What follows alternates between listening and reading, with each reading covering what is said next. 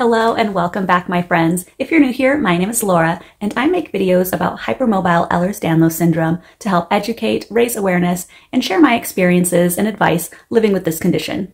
Today, I'd like to share with you my early signs and symptoms of HEDS.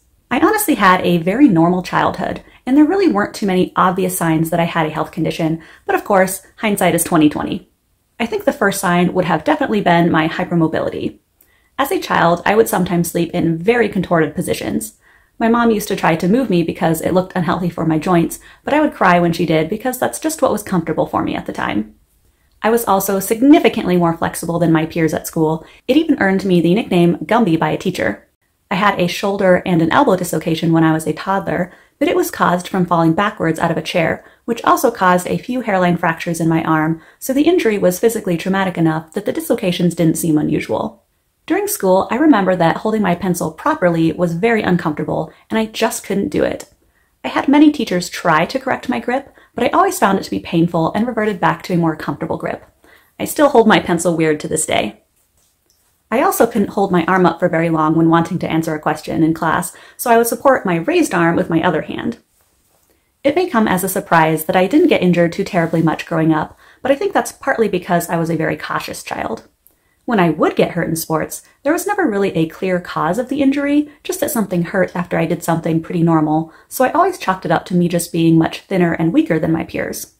Having poor proprioception, proprioception is the ability to perceive where your body is at in space, is associated with EDS, and I was definitely uncoordinated.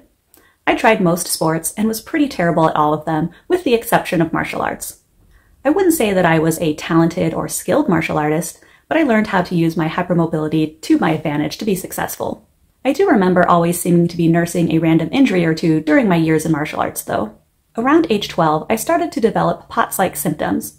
If you don't already know, POTS stands for Postural Orthostatic Tachycardia Syndrome, which is when your heart rate increases significantly when going from laying or sitting to a standing position, which will make you feel very dizzy, lightheaded, hot and sweaty, make your head pound, make it feel like your heart is beating out of your chest, make you lose your vision, and sometimes make you lose consciousness.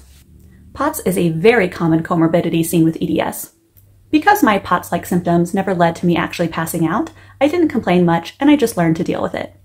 And I say POTS-like because I was never officially diagnosed with POTS. My family was the type that didn't go to the doctor unless something was seriously wrong, which I don't necessarily think is a bad thing.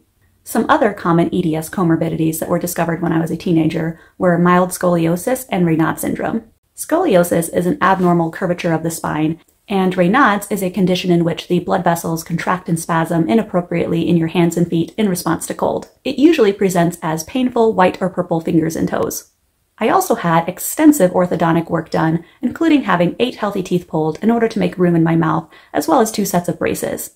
I also had an extremely high vision correction. I couldn't recognize people a mere few feet in front of me without my glasses on.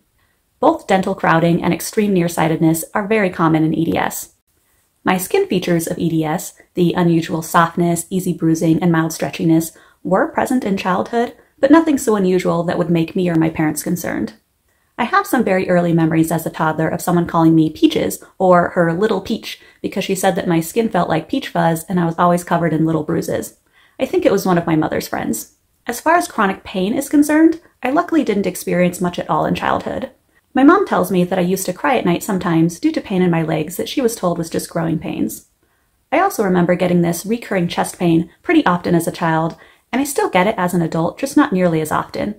I think it's related to a rib or possibly the muscles between the ribs because it's in the exact same spot every time. I didn't develop what I would consider to be chronic pain though until I was about 24 years old. So, in hindsight, there were plenty of signs of EDS in my childhood if you knew where to look, but unfortunately, like most people, my family, friends, teachers, and I had never heard of EDS, so no one knew any better.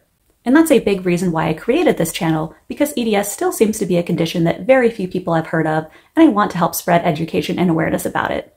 What were your early signs of EDS? Let me know down in the comment section. If you thought this video was helpful, please click on the like button. If you want to see more videos like this, subscribe to my channel, and don't worry, it's completely free. As always, thanks for watching and see you next time.